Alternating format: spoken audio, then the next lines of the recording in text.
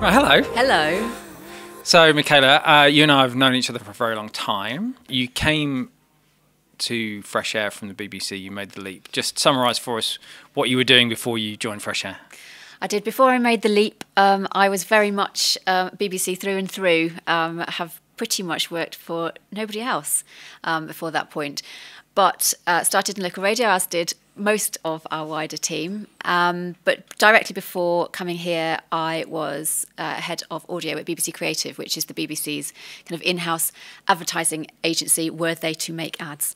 So I was looking after um, a brilliant team of people there who. Um, advertising the BBC's priorities across the BBC's portfolio of radio stations. So, promoting anything from the Olympics to Doctor Who to Strictly across Radio 4, uh, to Radio 1, Radio 1Xtra, uh, Radio 2. So I think it was all very much about tailoring content for different audiences and making sure it resonated with them in the right way, in it's, the right context. It's quite a unique mix, that, isn't it? Because inside the BBC, advertising generally is a dirty word, um, and branding is a dirty word. So th- there's this kind of outpost of the BBC where you do think like a marketeer yeah, absolutely. And it's important because people are paying a license fee and you need them to be able to know what the options are for them to consume within that fee that, that you pay on an annual basis. And I think cross promotion is one way of the BBC doing that really well. And talking about branding, it's then about the kind of umbrella effect of the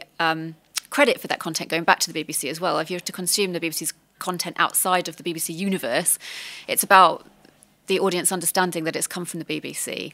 Um, and so the, the, branding side of it was really important as well. So I was involved in things like commissioning the BBC's Sounds audio identity um, and things like that, which is, again, part of telling your story and setting the tone for your brand, which, which is really important.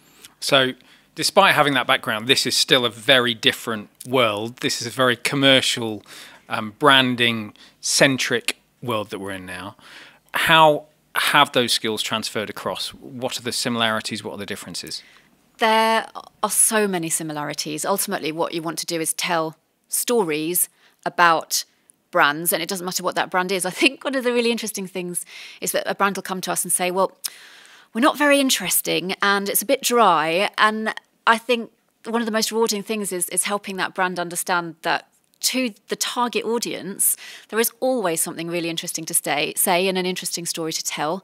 Um, and it's working with that brand to figure out what that is and how to frame it. Um, and it comes back to the, whether it's BBC or commercial, it comes back to the audience and who the listener is. The thing about branded content is that that listener is never going to put up with a 24 minute advert for that brand. So it's what you can do to create engaging content that has a halo effect. That again, going back to that BBC model about getting credit, that then the credit is driven back to the brand. Um, I think it's it's really important to understand who that listener is and audio storytelling in a podcast form is brilliant at talking to mass audiences, but really brilliant at talking to niche audiences as well. The other thing to consider about the audience is that their time is really precious. What you want to do as a brand is fit into their portfolio of listening on a habitual basis. And so again, understanding who that listener is and particularly where they might be listening is really important. Context of listening. Are they going to be on a run? Are they going to be on a commute?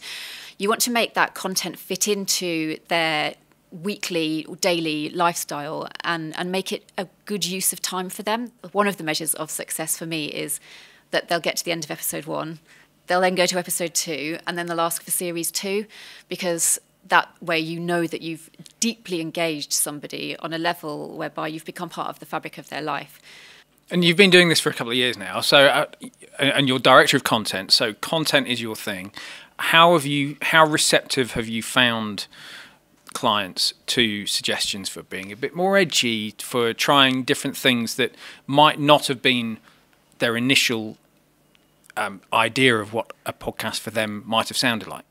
We've worked with some amazing brands who've been hugely receptive to ideas and strategies. And I think once they understand that ultimately it's both in their and our interests to make something that delivers on objectives um, and there's return on investment and that people can see as a success, then they're really open to different ways of experimenting with that and, and working with different concepts. And it's everything, as I said, from the context of listening. So one of our brands was really brave and has done a mindfulness series that fits into your two minutes of teeth brushing.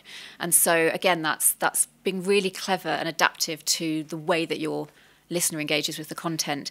We've got some brilliant almost kind of hybrid models going on at the moment where people are borrowing from the grammar of hugely successful um, podcast genres and applying those in unexpected ways. So you might be uh, with Q, cross referencing and, and, and, borrowing from the grammar of true crime to tell stories about botanical science. We're just working on a series at the moment, which is a hybrid of a relationship podcast and a financial company. And that's come out with some really distinctive and surprising ways in and ways of telling stories. And I think that's, that's the key is that podcasting is growing massively as a medium. And you need to understand who you're talking to and understand how to stand out in that market to create distinctive content that is not is going to lift you head and shoulders above the rest, but also create an audio brand and a tone of voice and a and a personality for your brand in in audio. And I don't think enough brands consider what they sound like. And so podcasting is a brilliant way for them to start to explore that.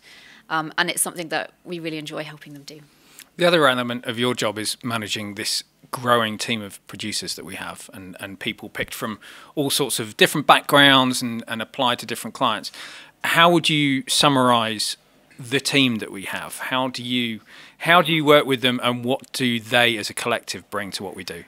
Oh, genius, passionate, eclectic. Um, such a brilliant group of people and and such a diverse group of people with such different interests.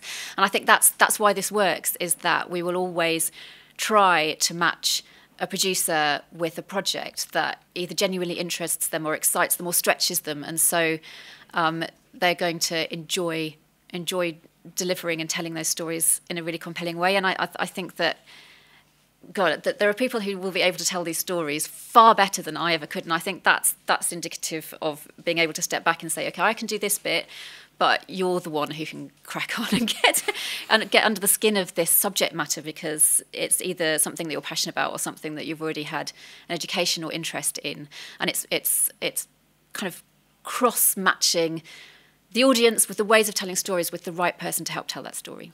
Thank you very much. Fresh.